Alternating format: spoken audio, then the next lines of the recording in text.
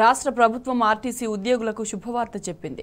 CM KCR అధ్యక్షతన మంత్రివర్గ మండలి సమావేశంలో ఆర్టీసీని ప్రభుత్వంలో విలీనం చేయాలని నిర్ణయించారు.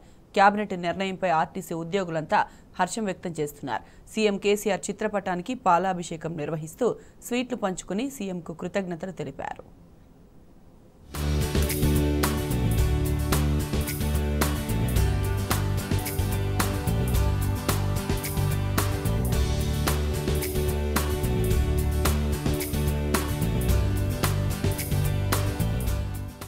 ఆర్టీసీని విలీనం చేయడం పట్ల ఆర్టీసీ ఉద్యోగులంతా హర్షం వ్యక్తం చేస్తున్నారు.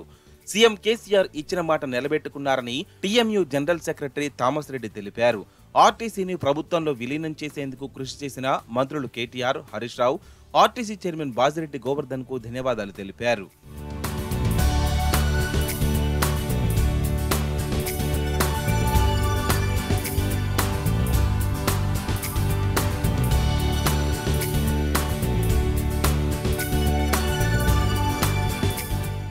ప్రభుత్వంలో ఆర్టీసీ విలీనంపై సంబురాలు వెలువెత్తుతున్నాయి నిజామాబాద్ జిల్లాలో ఆర్టీసీ కార్మికులు సంబురాలు చేసుకున్నారు. ఆర్టీసీ విలీన నిర్ణయం తీసుకున్న సీఎం కేసీఆర్కు రుణపడి ఉంటామని కార్మికులు తెలిపారు. సీఎం కేసీఆర్ జిందాబాద్ అంటూ నినదించారు. కేసీఆర్! కేసీఆర్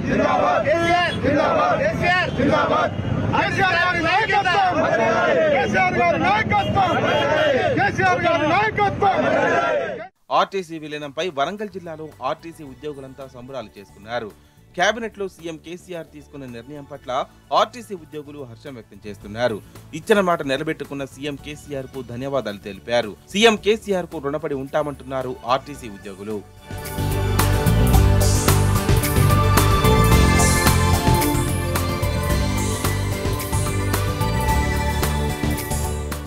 సీఎం కేసీఆర్ నిర్ణయంతో తమ జీవితాల్లో వెలుగులు నిండాయని ఖమ్మం జిల్లా ఆర్టీసీ ఉద్యోగులు సంతోషం వ్యక్తం చేస్తున్నారు. ఎన్నో ఏళ్ళ నాటి తమ ఆకాంక్ష నెరవేర్చిన సీఎం కేసీఆర్కి రుణపడి ఉంటామంటున్నారు. తమను ప్రభుత్వ ఉద్యోగులుగా గుర్తించినందుకు సీఎం కేసీఆర్కు కృతజ్ఞతలు తెలిపారు.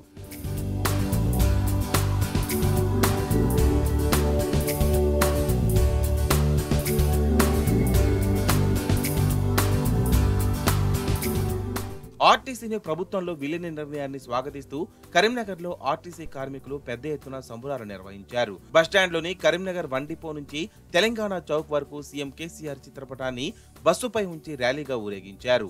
ఆర్టీసీని ప్రభుత్వంలో విలీనం చేస్తూ తమను ప్రభుత్వ ఉద్యోగులుగా గుర్తిస్తూ కేబినెట్లో సీఎం కేసీఆర్ నిర్ణయం తీసుకోవడంతో టపాసులు కాల్చారు.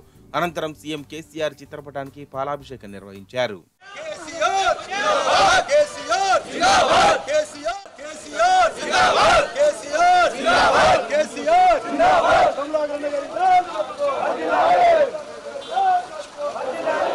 వనపర్తి ఆర్టీసీ బస్ డిపో ముందు పండుగ వాతావరణం నెలకొంది తమ దశాబ్దాల కోరిక నెరవేర్చి తమ జీవితాల్లో వెలుగులు నింపిన సీఎం కేసీఆర్ మంత్రి కేటీఆర్లకు ఆర్టీసీ కార్మికులు కృతజ్ఞతలు తెలిపారు ఒకరికొకరు స్వీట్లు తినిపించుకొని సంతోషం వ్యక్తం చేశారు